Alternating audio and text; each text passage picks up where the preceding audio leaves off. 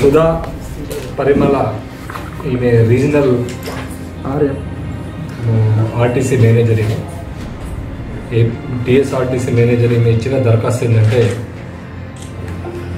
మొన్న ఈ regional RM ఆఫీస్లో సంక్రాంతి సంబరాల్లో ఉత్సవాలు చేసుకున్నారు. అందులో భాగంగా ఆ ఉత్సవాలని జరుపుతున్నటువంటి వీడియో క్లిప్లని కొంతమంది విలేకరులు అక్రమంగా వాటిని ఏర్పాటు నకిలీ విలేకరులు అక్రమంగా వాటిని ఇది చేసి కొని వాటిని వైరల్ చేస్తా అని చెప్పి మేడం సుధా పరిమళ గారికి మేడం నువ్వు డొగ్గు డొగ్గు బండి బుల్లెట్ బండి మీద డ్యాన్స్ చేసినట్టు మా దగ్గర వీడియో క్లిప్పింగ్ ఉంది దాన్ని వైరల్ చేశాం. ఆ వీడియో వల్ల ఆ పాట వల్ల చాలామంది గతంలో నర్సు తర్వాత సిరిసిల్లలో ఒక డాక్టర్ ఈ విధంగా చాలామంది సస్పెండ్ అయ్యారు. అది నిషేధించిన నిషేధించబడిన పాట. దానిపైన మీరు డ్యాన్స్ చేశారు కాబట్టి ఆ వీడియోని మేము వైరల్ చేస్తాం. అది వైరల్ చేసినట్టయితే మీ ఉద్యోగం పోతుంది అని చెప్పి భయపెడుతూ ఈమెని ఫోన్ చేయడం జరిగింది.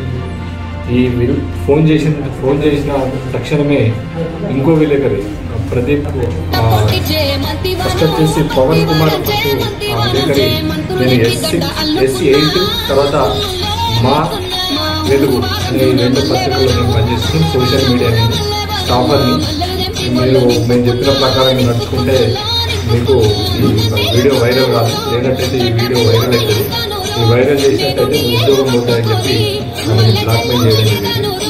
ఆ బ్లాక్మెయిల్ కానీ మరి ఏంది పరిస్థితి అని చెప్పేసి ఆ, ఆయన అడిగితే మీరు పదివేల రూపాయలు మాకు ఇచ్చినట్టయితే మీ వీడియో వైరల్ కాకుండా ఉంటుంది మీ ఉద్యోగం భద్రంగా ఉంటుంది. మీరు పదివేలు ఇవ్వనట్టయితే మాత్రం ఖచ్చితంగా ఈ వీడియో వైరల్ చేసి మీ ఉద్యోగం బయటట్టు చేస్తామని చెప్పి ఆమెను బెదిరియడం జరిగింది.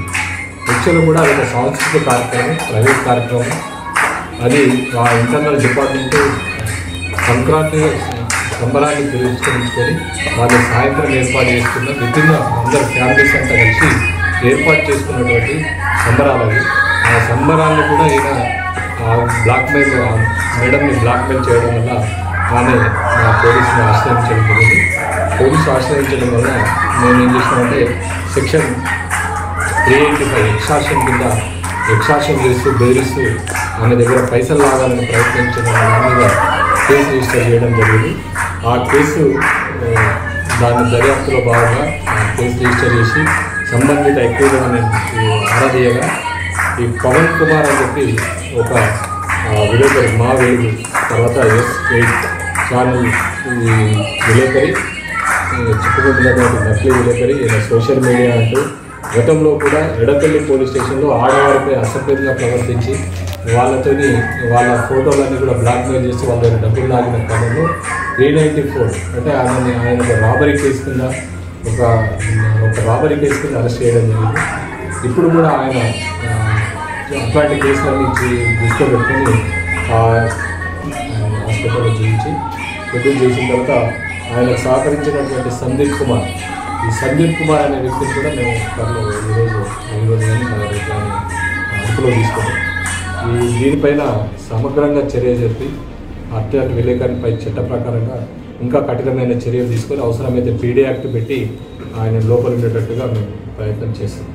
అదేవిధంగా ఎవరైనా ఈ విలేకరి నకిలీ విలేకరులు ఎవరైనా కానీ లేదా ఈ విలేకరైనా కానీ ఈ so called Pavan Kumar and gang Sandeep Kumar ఈ ఈ నకిలీ విలేకరులు ఎవరైనా మీకు ఫోన్ చేసి మీకు ఇలాంటి బెదిరింపులు పాల్పడి మీరు డబ్బులు డబ్బులు ఇచ్చి ఉన్నట్లయితే మాకు వచ్చి దరఖాస్తు ఇవ్వండి. ఆ వ్యక్తిపై మరొక కేసు రిజిస్టర్ చేసి వారిపై మీ డబ్బులు రికవర్ అయ్యేటట్టు తర్వాత వారిపైన కఠినంగా చర్యలు తీసుకునే అవకాశం ఉంటుంది. అదేవిధంగా ఇంకా జరగబోయే ఎవరైనా మీకు ఎవరైనా విలేకరులని ఫోన్ చేసి మీరు భయ ఎవరికి అధికారులు కానీ తర్వాత వ్యాపారస్తులు కానీ కాంట్రాక్టర్స్ కానీ ఎవరైనా కానీ మిమ్మల్ని ఎవరైనా విలేకరుల పేరు మీద బెదిరించినట్టయితే మాకు వచ్చి దరఖాస్తు ఇవ్వండి. మేము అంటే విలేకరులపై ఆ నకిలీ విలేకరులపై ఖచ్చితంగా చర్య తీసుకుంటాం. కావున ప్రజలంతా కూడా చర్య తీసుకోవాలి? అదేవిధంగా మూడోది మేము కోరుకునేది ఏంటంటే ఇక్కడ ఉన్నటువంటి ప్రెస్ ప్రెస్ ఇలా యూనియన్ ఏదైతే ఉంటుందో మాకు అక్రిడేషన్ కార్డ్స్ సబ్ ఇక్కడికి వెళ్ళినా కూడా ఒక అక్రిడేషన్ కార్డు ఇవ్వండి. తర్వాత ఇక్కడ ఉన్నటువంటి ప్రతి అధికారికి మీ లిస్టు మాకు సప్లై చేయండి. ఎందుకంటే ఈ రోజుల్లో చాలామంది ఒకప్పుడు ఓన్లీ ప్రింట్ మీడియా ఉండేది. తర్వాత ఎలక్ట్రానిక్ మీడియా వచ్చింది. ఎలక్ట్రానిక్ మీడియా తర్వాత ఇప్పుడు సోషల్ మీడియా అని చెప్పి కొత్తగా వస్తుంది.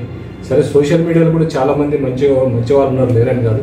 చాలామంది నకిలీలు. ఎలాంటి వాళ్ళకు ఇది లేదు. ఏదో లోగో పట్టుకొని వచ్చి మీరు ఈ ఛానల్ ఆ ఛానల్ అని చెప్పి చాలామంది అధికారులని అధికారం అధికారుల్ని బ్లాక్మెయిల్ చేస్తూ అలా అధికార విధులను ఆటంకపరుస్తూ తర్వాత చాలామంది వ్యాపారస్తులని కాంట్రాక్టర్స్ని చాలా మంచి ప్రొఫెషనల్స్ డాక్టర్స్ని కూడా మేము బ్లాక్మెయిల్ చేస్తున్నట్టు మాకు ఇన్ఫర్మేషన్ వస్తుంది. కాబట్టి దయచేసి ఎనీ ప్రొఫెషనల్స్ డాక్టర్స్ కానీ లాయర్స్ కానీ తర్వాత ఎనీ ప్రభుత్వ ఉద్యోగులు కానీ ఎవరైనా కానీ మీకు ఎవరైనా అలాంటి బెదిరింపులకు పాల్పడ్డ వ్యక్తులు ఎవరైనా సరే మాకు వచ్చి దరఖాస్తు ఇవ్వండి. వారిపైన ఎక్స్ట్రాషన్ కింద కేసు కట్టి వాళ్ళని జైలు పంపడం జరుగుతుంది. మీరు దీన్ని కోఆపరేట్ చేయవలసిన మీడియా మిత్రులకు కూడా కోరుచున్నాను.